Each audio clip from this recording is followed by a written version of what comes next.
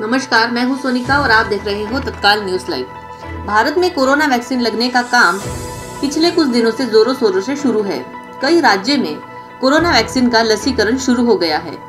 देश के अलग अलग हिस्सों में रोज़ाना लाखों के वैक्सीन लग रहे हैं। इसी के साथ ही वैक्सीन लगने के बाद कुछ लोगों में साइड इफ़ेक्ट दिखाई दे रहा है। स्वास्थ्य मंत्रालय ने वैक्सीन कार्यक्रम से जुड़े आंकड़े बताए हैं, जहाँ पिछले 10 महीने से देश में कोरोना का हाहाकार मचा था और लोग बेसब्री से कोरोना वैक्सीन का इंतज़ार कर रहे थे। वही अब कोरोना वैक्सीन को लगाने से लोगों को साइड इफ़ेक्ट दिख रहा है और लोगों को अब डर महसूस हो रहा है।